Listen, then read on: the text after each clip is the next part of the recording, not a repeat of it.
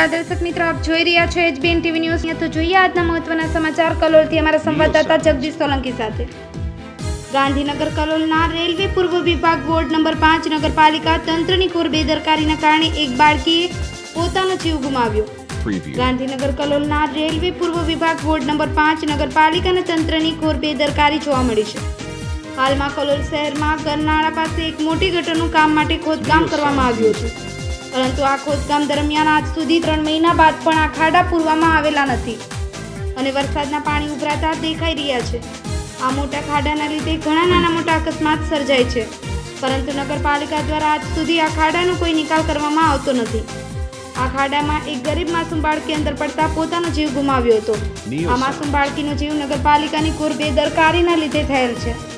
આ ખાડામાં વરસાદનું પાણી ભરાઈ જતા આજુબાજુના વિસ્તારમાં ગંભીર પ્રકારની બીમારીઓ થાય તેવી શક્યતા વધી રહી છે. આજુબાજુના રહીશોનું કહેવું છે કે આ ખાડા જલ્દીથી પૂરવામાં આવે નહીં તો અમે કાયદેસર કાર્યવાહી હાથ ધરવામાં આવશે. ફરી મળીશું નવા સમાચારો સાથે. અમારા સંવાદદાતા જગદીશ સોલંકી સાથે. આપ જોતા રહો એક બેન ટીવી ન્યૂઝ રમેશ સત્યની સાથે. શું તમે જણાવશો આજે શું અહીંયા ઘટના બની? આજે ના છોકરી પડી ગઈ છે છોકરી પડી ગઈ. કેવી રીતે પડી?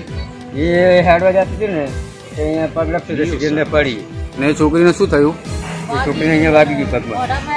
અને મોઢામાંથી પાણી પી ગઈ છે. બરાબર. એમાં બીમાર બીમાર બહુ તો આ જે બાબત તમારે અહીંયા વારંવાર થાય છે? વધારે ને વારંવાર થાય છે. એક વખત નથી વારંવાર થાય ઘડીએ ઘડીએ થાય છે. રોજ દાડામાં તો શું તમે નગરપાલિકામાં અરજી કરી? અરજી નહીં કરી અમે નગરપાલિકામાં જ્યાં નહીં પણ એ નગરપાલિકા સાહેબ બધા અહીંયા આવતા હતા. આવતા હતા. તો શું અમને દેખરેખ શું રાખ્યું તમારામાં?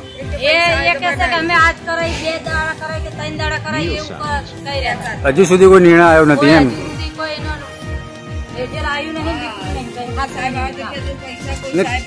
કેટલા કેટલા દિવસમાં અહીંયા બનાવ બને છે આવા? અઠવાડિયા અઠવાડિયાની અંદર તો બે ત્રણ બની જ જાય છે. ના નોકરી જઈ છે ના ધંધા જઈ છે.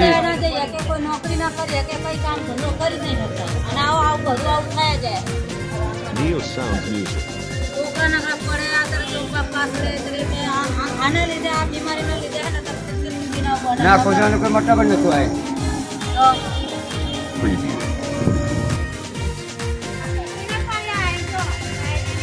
સ્ટ્રીટ લાઇટ બી બંધ છે બધા આ સ્થળ પર.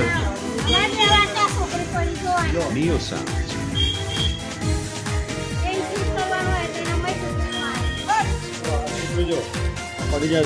કેટલા સમયથી આ વિદ્યુતની લાઇટ બંધ છે?